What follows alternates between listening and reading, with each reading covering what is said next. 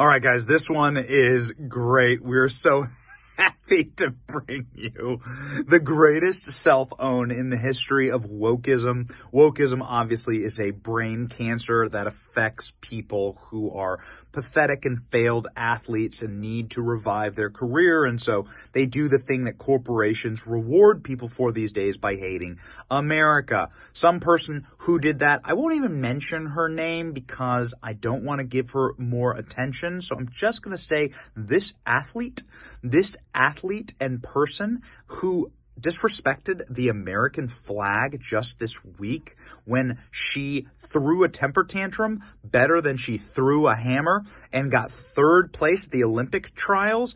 This person decided to throw a hissy fit and to disrespect the colors under which she wishes to compete in the Tokyo Olympics makes no sense to me, at least. Maybe I'm just old fashioned. But if you hate the country that you wish to compete for, perhaps maybe you shouldn't even try to be on the team, Team USA. But here we are, a bizarro clown world we live in, and the clowns continue to roll out of their own clown car with their goofy shoes on, and on those shoes is a URL to an old website that this athlete decided to not take down from the internet. It's only a couple years old from just back. The latest post, I think, was 2016, where this athlete was draping herself in the flag, was talking about how much she loved America, talking about how proud she was to represent the United States of America on the national stage, how hard she worked, the opportunities she had, and indeed posting very glamorous photos of her once again holding up a American flag an American flag that has now been replaced by a t-shirt that says activist athlete. That American flag now is disgusting and distasteful. It's amazing how an entire country can suddenly change in a couple of years. Yeah, it's amazing. The whole country just suddenly changed. Yeah, that's right.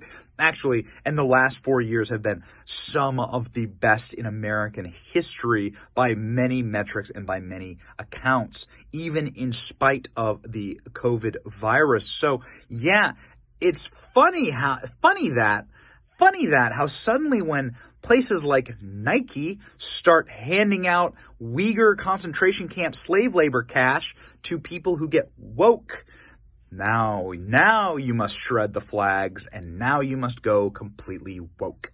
The woke are pathetic and she couldn't stand it. She tore down this website. It's now a dead URL. You can no longer get to this old website showing a very old, distant, different universe from just three years ago when this athlete loved America. Hmm.